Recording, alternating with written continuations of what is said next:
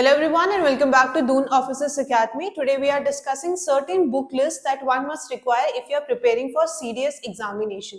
ये uh, this video is beneficial for those students जो इस साल का CDS देने वाले या फिर आप कोई भी ईयर के लिए प्रिपेयर कर रहे हैं तो कौन सी बेसिक बुक्स हैं the book list I am telling you today वो बेसिक बुक्स हैं राइट इसके अलावा भी ज़रूरी नहीं है कि सिर्फ़ ये बुक्स बट ये ऐसी बेसिक बुक्स हैं जो आपके कॉन्सेप्ट बिल्डअप में बहुत ज़रूरी होती है। So latest as you all know serious अगर लेवल के एग्ज़ाम की बात करें तो आपके तीन सब्जेक्ट होते हैं। वन इज़ द इंग्लिश पहला जो आपका सब्जेक्ट है इंग्लिश है, उसके बाद आपका जीएस आता है and then the third examination for the serious is maths all right या फिर मैथमेटिक्स बोल लो। तो सीडीएस में आपके तीन एग्ज़ाम्स होंगे। अगर आप सिर्फ़ ओटीए के लिए एलिजिबल हो तो आप सिर्फ़ पेपर वन और पेपर टू देते हो। That is your English and GS examination negative marking भी होती है राइट right? तो आपके वन थर्ड मार्क्स डिडक्ट होंगे। अगर आपने कोई क्वेश्चन है, वो गलत किया है राइट right? और GS is of qualifying nature अगर आपके 20 मार्क्स जीएस में आते हैं, तब आपके दूसरे पेपर चेक होते हैं। तो इसका मतलब क्या हुआ कि आपको जीएस में एटलीस्ट 20 मार्क्स तो लाने ही पड़ेगी राइट तो पहला पोर्शन आपका इंग्लिश है। अब इंग्लिश में आपकी दो चीज़ें आती है। First is your grammar portion और सेकेंड है आपका वोकेबलरी राइट इंग्लिश के लिए दो चीज़ें हैं। ग्रामर सेक्शन होता है आपका and second is your vocabulary passage भी आपके आते हैं। uh, बहुत वीडियो में मैं ऑलरेडी बता चुकी हूँ कोई भी लेवल के आप प्रिपरेशन कर रहे हो आप स्कूल लेवल एग्जामिनेशन के लिए कर रहे हो डिफेंस के जैसे कि आपका सैनिक स्कूल हो गया आर हो गया या फिर ग्रेजुएट ग्रेजुएशन लेवल के हैं सी हो गया ट्वेल्थ के बाद अगर आप एनडीए वगैरह दे रहे हो प्रीवियस ईयर ज़रूर सॉल्व करके जाना। राइट तो इंग्लिश में ग्रामर पोर्शन के लिए बेसिक जो बुक होती है ये आप आ, अपने स्कूल में भी आपने ये बुक बहुत सारे स्कूल्स में ये बुक भी फॉलो की जाती है. So that is Wren Martin Wren Martin जो है, ये एक ऐसी बुक है जिसमें आपको ग्रामर के रूल दे रखे हैं. बिल्कुल बेसिक तरीके से आपको ग्रामर के रूल बताए जाएँगे और एक्सेप्शन ठीक है? ये बुक बहुत बार ऐसा होता है कि बच्चे एक बार बुक पढ़ते हैं, उनको चीज़ें समझ नहीं आती. पर if you will go through दो चैप्टर एक दो बार अगर आप जाओगे तो आपके कॉन्सेप्ट बिल्डअप हो जाते हैं राइट ग्रामर की अगर बात करें, आपको कुछ रूल्स ग्रामर के पता होने चाहिए। तो रेन एंड मार्टिन आप ज़रूर ट्राई करना। बेसिक रूल्स जो ग्रामर के आपको पता होने चाहिए, उसमें है एक्सेप्शन भी है, और बहुत सारी चीज़ें जो बहुत क्लियरली मेंशनड है। राइट ग्रामर की आपकी बहुत मोटी मोटी बुक्स अवेलेबल है मार्केट में but brain and Martin this is the basic book आप कोई भी लेवल के एग्ज़ाम कर रहे हो it this is not only for the defence examination अगर आप इनफैक्ट एस एस सी की भी प्रिपरेशन कर रहे हो सीजीएल हो गया, या फिर इस लेवल के एस एस सी लेवल के भी कर रहे हो then also Wren and Martin जो है, उसके ग्रामर आपको बहुत अच्छे तरीके से कंपाइल्ड मैनर में दी गई है। आपको उसके हर एक टॉपिक के एग्ज़ाम्पल के साथ चीज़ें एक्सप्लेन की गई है। So Wren and Martin is the best book for grammar ठीक है? अगर आप सीडीएस के लिए पढ़ रहे हो या कोई भी एग्ज़ाम के लिए पढ़ रहे हो रेन एंड मार्टिन ग्रामर के लिए काफ़ी अच्छी बुक है। Right so this you can do और एक बुक ज़रूर लेना जिसमें आपके प्रीवियस ईयर के एटलीस्ट दस साल के आपके कम से कम प्रीवियस ईयर पेपर कंपाइल्ड हो। आपके अरिहंत पब्लिकेशन की आती है प्रीवियस ईयर की तो you can buy that also अब वोकेबलरी पे आते हैं, जो बेसिक बुक वोकेबलरी की है। That is word power made easy word power made easy बहुत सारे बुक्स हैं आपके मार्केट में जिसमें आपकी वोकेबलरी है। But the reason this is the best book अगर आपकी वोकेबलरी वीक है या आप किसी भी लेवल पे हो वोकेबलरी के उसमें, इसमें आपको किसी भी वर्ड का ऑरिजिन दिया जाता है। इथेमोलॉजी जिसको आप बोलते हो कि कोई एक वर्ड है, उसका ऑरिजिन कैसे हुआ? है उस पर्टिकुलर वर्ड का मतलब क्या होता है? तो once you know the origin right जैसे कि मान लो कोई एक वर्ड है, उसके आगे आपने आई एन लगा दिया तो उसका ऑपोजिट बन जाता है। ना? ये यू एन लगा दिया, उसको ऑपोजिट बन जाता है। तो इस तरीके जो बेसिक वोकेबलरी के रूल्स होते हैं, वो बहुत डिटेल मैनर में दिए गए हैं। And if you one start reading that book आपको एक पॉइंट पे ऐसे लगेगा एज अफ वो बुक पढ़ने की जगह, पढ़ने की जगह there is a more conversation that is going on somebody is talking to you and explaining you the stuff so word power made easy vocabulary के लिए बिल्कुल बेसिक बुक है। इसमें आपके बेस्ट इज़ द ओरिजिन कोई भी एक word है, उसका ओरिजिन कैसे हुआ रूट वर्ड क्या है, उसमें उसका मतलब क्या होता है, उससे मिलते जुलते और आपके तीन चार वर्ड है। तो by the time you will finish reading this book आपकी वोकेबलरी काफ़ी अच्छी डेवलप होती है।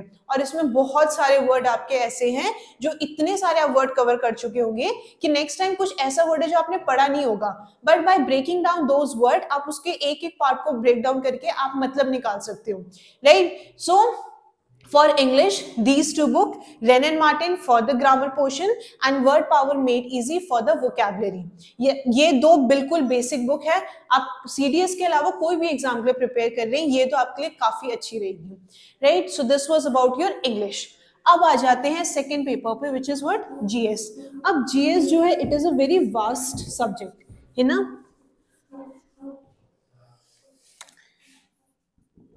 जीएस जनरल स्टडीज़ एक ऐसा सब्जेक्ट है जिसमें आपके बहुत सारी चीज़ें आ जाती हैं। तो पहले अगर हम बात करें पॉलिटी की पॉलिटी की आपने ये बुक बहुत ज़्यादा सुनी होगी, लक्ष्मीकांत, ठीक है? तो अगर आप लक्ष्मीकांत बुक फॉर पॉलिटी, ठीक है? रीजन पॉलिटी लक्ष्मीकांत बुक ऐसी है कि इसमें हर एक चीज़ दे रखी है।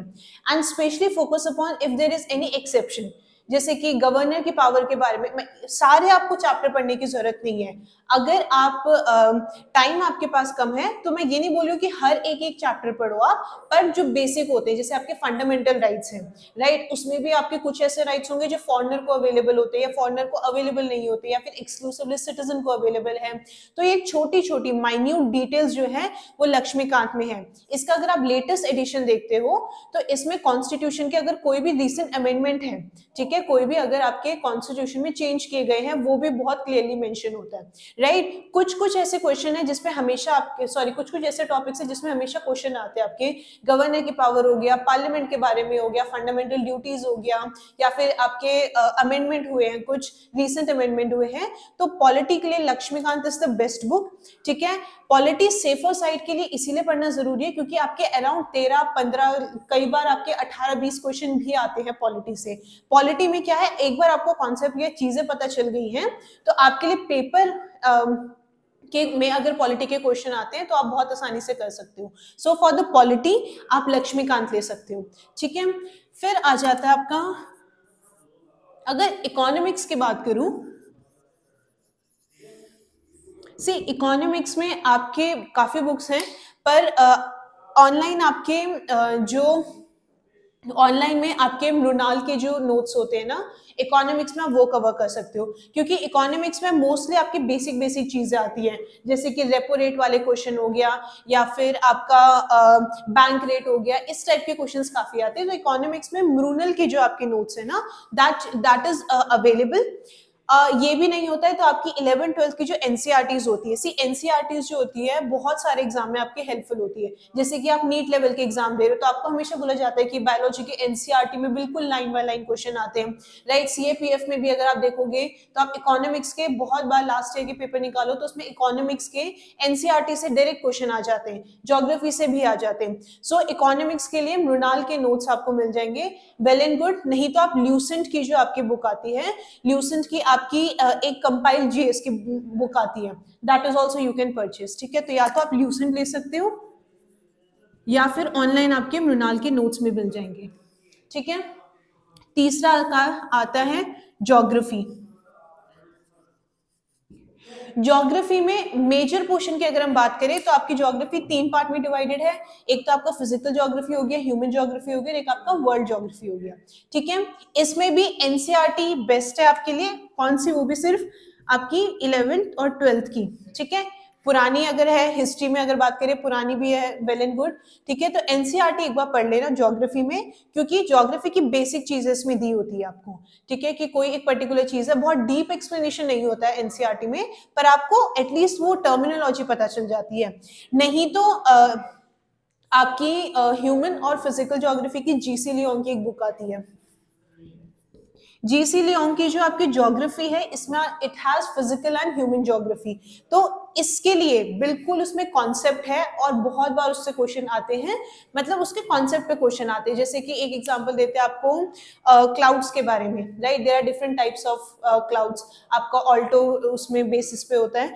तो जीसी लियोन कॉन्सेप्ट डेवलप करने के लिए if you have ample amount of time आपके पास अच्छा खासा टाइम है आपके पास तीन चार महीने हैं तब आप जीसी लियोन कर सकते हो for the world and human geography ठीक है? बेसिक कॉन्सेप्ट हो गए लैटिट्यूड वाले कॉन्सेप्ट हो गए लॉन्गिट्यूड अब वो मत करो कि आप बिल्कुल सिक्स क्लास से लेके पूरे ट्वेल्थ तक पढ़ रहे हो।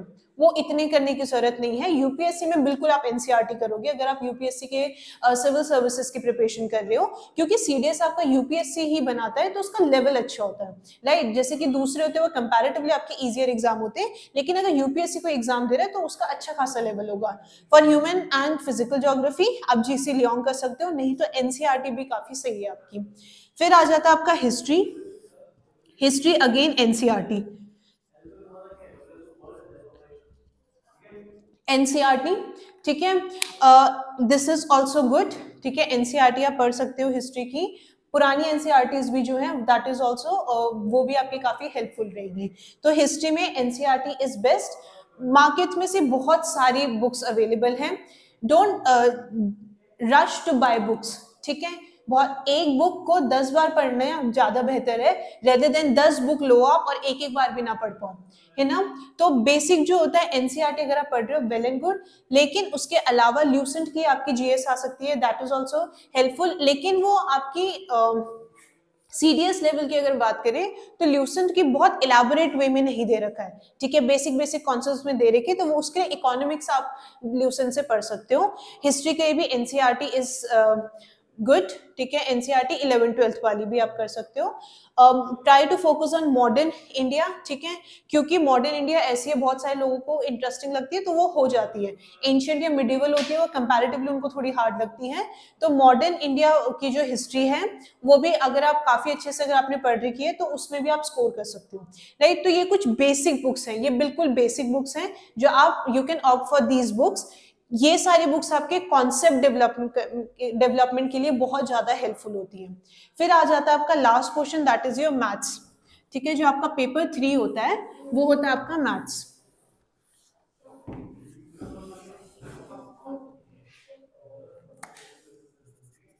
मैथमेटिक्स के लिए आपकी आर एस अग्रवाल की आती है।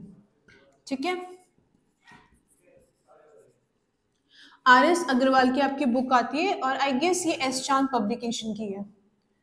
ठीक है? दिस इज़ गुड अगर आप सीरियस लेवल के मैथ्स की बात करें तो वो ज़्यादा कैलकुलेटिव होती है। ठीक है? अगर एसएससी को भी मैं कंपेयर करती हूँ सीरियस के तो मोस्टली उनकी मैथ्स के जो अगर आप सिलेबस देखोगे, लगभग सेम है।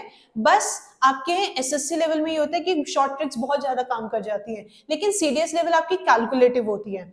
द मोर यू प्रैक्टिस ठीक है, उतना ज़्यादा आपका स्कोरिंग हो सकता है। बिकॉज़ कभी भी आप मैथ्स की बात करो मैथ्स कॉन्सेप्ट पे चलती है। Right right? मैथ्स कोई भी एक कॉन्सेप्ट है, उसके ऊपर वो आपने चार क्वेश्चन कर सकते हो। तो मैथ्स ऐसा है, आपकी कैलकुलेटिव होगी तो जितनी प्रैक्टिस करोगे, आप उतनी ज़्यादा एक्यूरेसी आएगी। Right right? और buy any previous year questions ठीक है, कोई भी एक बुक होगी अरिहन पब्लिकेशन की प्रीवियस ईयर की आती है वेल एंड गुड ठीक है? Right right? uh, बहुत सारे बच्चे जो होते हैं करंट अफेयर्स के लिए भी पूछते हैं। करंट अफेयर्स के ना आपके बहुत सारी है जैसे कि uh, एक आती आपकी uh, पूरी ईयर बुक आती है वो बहुत ज़्यादा है। तो आप क्या कर सकते हो जो भी आपके पास टाइम है एटलीस्ट पिछले छह महीने के ट्राई करो कवर हो जाए और ये न्यूज़पेपर रीडिंग से करो। For the current affairs newspaper reading is enough कोई भी न्यूज़पेपर है आपके पास न्यूज़पेपर द बेस्ट न्यूज़पेपर आपके दो होते हैं। One is the Indian Express और दूसरा है आपका द हिंदू द रीजन आपको ये दो पेपर पढ़ने के लिए बोला जाता है क्योंकि ये दो पेपर में बेसिकली एडमिनिस्ट्रेटिव लैंग्वेज दी जाती है। Right right? तो आपके ये है कि इंग्लिश में भी it is these two papers are very helpful एक और चीज़ याद रखिएगा कई बार आपको ऐसा लगता है कि भाई बहुत सारी चीज़ें आपकी ए, एक दिन में हो रही है। राइट अगर कोई बहुत इंपॉर्टेंट न्यूज़ है तो ऐसा नहीं होगा कि वो सिर्फ़ एक बार आई और चली गई। आप देखोगे कि उसमें हमेशा फॉलो अप होता है। या तो वो ओपेड पेज पे कुछ फॉलो या फिर एडिटोरियल पेज पे अगर आप देखोगे, कुछ आपका फॉलो अप दिया जाता है। कोई अपने ओपिनियन जो होता है अगर वो व्यक्त कर रहा है तो एडिटोरियल पेज या ओपेड में आपको ज़रूर मिलेंगे। तो करंट अफेयर्स के लिए कोई भी एक बुक लो और एक वन लाइनर कर लो। ठीक है? क्योंकि सीडीएस uh, में बहुत ज़्यादा डीप नहीं पूछता है वो राइट जैसे अगर आप सिविल सर्विसेज़ के पेपर के हिसाब से देखोगे तो उसमें कोई एक चीज़ है वो बहुत आप किस तरीके से कोरिलेट करके क्वेश्चन पूछ सकते हैं। सीडीएस में इतना डीप नहीं पूछता है। तो करंट अफेयर्स के लिए न्यूज़पेपर बेस्ट है। ठीक है आप फोर्टी फोर्टी फाइव मिनट्स अगर एक बार पेपर पढ़ रहे हो तो एक बार पेपर पढ़ लिया आपने नोट्स बनाते जाओ, ठीक है? कई बार ऐसा होगा, कोई चीज़ मिस आउट हो गई है, अगर कोई बहुत इंपॉर्टेंट न्यूज़ होती है तो उसका फॉलो अप हमेशा होगा। ऐसे नहीं होगा कि सिर्फ़ एक दिन वो न्यूज़ आई और उसके अगले दिन कभी नहीं आएगी। अगर कोई चीज़ बहुत इंपॉर्टेंट है तो उसके हमेशा एक या दो बार उसकी चीज़ें आप न्यूज़पेपर में ज़रूर देखोगे। और राइट नहीं तो आपके इनसाइट जो आपका you can go to insight as well तो अगर आप गूगल में insight I insight I S है शायद से वो। तो इनसाइट की भी आपके हर रोज मतलब एक दिन पहले का आपको पूरा कंपाइल्ड उसमें मिल जाता है। तो उसके अगर सिर्फ़ आप हेडिंग भी पढ़ रहे हो मोर देन इनफ ठीक है? हमेशा याद रखना कि जो भी आप पेपर पढ़ रहे हो, उसके आप कॉन्सेप्ट पे ज़्यादा ध्यान दो, ठीक है? जैसे कि अगर मान लो एक बहुत बेसिक से एग्जांपल है, जैसे कि रशिया यूक्रेन का चल रहा था तो उसमें आप मैप देख सकते हो, ठीक है? एक कोई भी वर्ल्ड मैप ले लेना इंडिया का भी मैप ले लेना political map as well as physical map तो वो आप अपने रूम में लगा दो वर्ल्ड मैप भी एक ले लो, और उसमें ना, रशिया कहाँ पे है, उसके आसपास की कंट्रीज़ कहाँ पे है, ठीक है? और वहाँ पे कोई अगर इंपॉर्टेंट चीज़ें हैं मार्क ज़रूर करके रखना, ठीक है? ऐसे क्वेश्चंस कई बार आ भी जाते हैं। राइट तो these were some of the book list एकदम बेसिक बुक लिस्ट थी ठीक है कि जो ये आपके किसमें हेल्प करेगी? आपके कॉन्सेप्ट डेवलपमेंट में हेल्प करेगी। बिल्कुल बेसिक बुक्स है ये। All right? So this was all for today. I hope you will find this video very helpful. Thank you.